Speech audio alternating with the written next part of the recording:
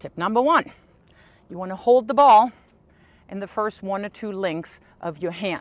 You don't want to have it all the way in the palm because that way the likelihood that it moves, that it rolls over your fingers is a lot bigger. And if you see really good servers toss the ball, there's very little movement on the ball as they toss it up.